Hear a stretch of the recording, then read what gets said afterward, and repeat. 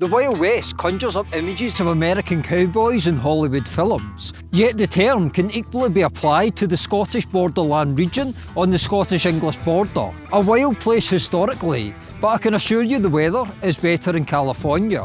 The border reivers were raiders along the Anglo-Scottish border from the 13th to the 17th century. They had little regard for nationality and were made up of both Scottish and English people. Reive literally means to raid, rob and plunder.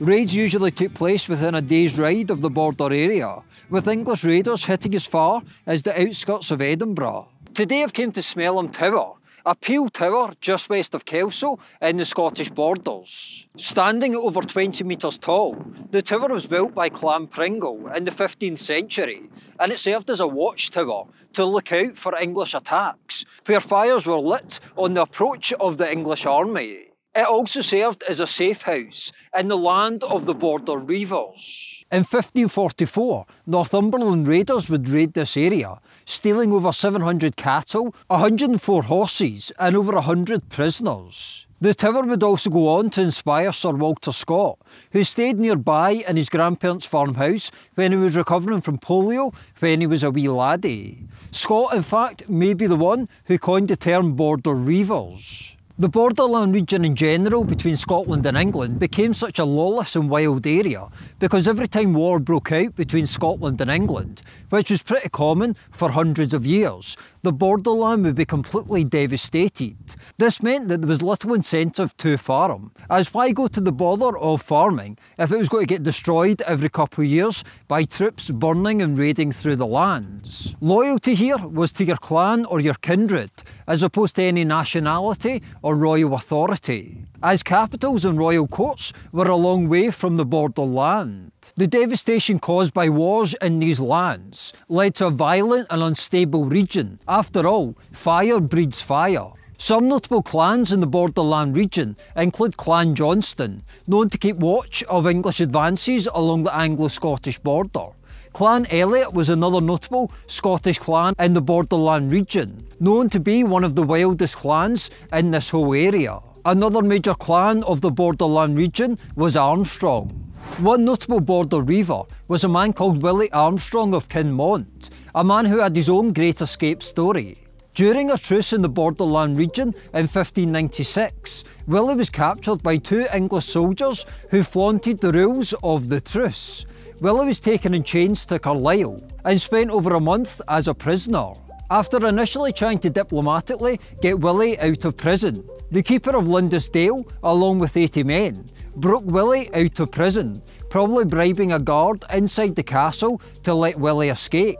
Willie is thought to have died as an old man in his bed years after this event. Other popular border surnames include Robson, Dixon and Bell. Raids were carried out by gangs of anywhere between a few dozen and a few thousand raiders for more organised campaigns. The raiders wore light armour and metal helmets, hence their nickname Steel Bonnets, and carried small shields, swords, lances, longbows and light crossbows, and later pistols. Royal authority to the Reivers was ambiguous at times. On one hand, they offered a first line of defence against invading armies over the border.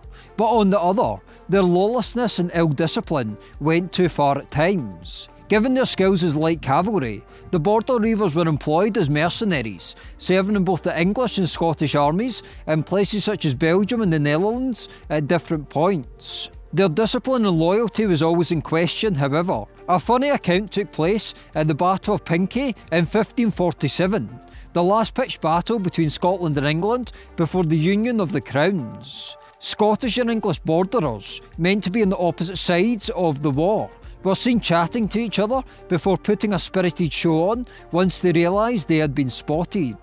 The border region, known as the Marches, even went on to develop its own legal system, called march or border law. Under border law, a person who had been raided had the right to mount a counter raid within six days, even across the border, to recover the goods that had been stolen. The borderland in general was divided into marches, with a march warden in charge of each area, although they were often involved in raids themselves. In the late 15th, early 16th centuries, royal authority had had enough of the border reivers. Violence and instability had reached a pitch, and some even suggested rebuilding Hadrian's Wall to impose order in this area. During the reign of James VI, also known as James I, joint ruler of the Scottish, English, and Irish thrones from 1603, border law was abolished, and even the term borders was replaced in favour of middle shires. Reivers were punished, and in 1605, a commission was formed in the first year of the Commission's existence, 79 people were executed, with many more going on to be hung. Borderers on both sides of the border would then be moved into Ireland during the Ulster plantation of the early 17th century, and many more ended up in America. If you can't beat them, move them, may have been the memo going round the royal court. When you think of wild clans in Scotland, the Highlands may be what comes to mind. The borderland, however, may have been even more wild at various points down through history.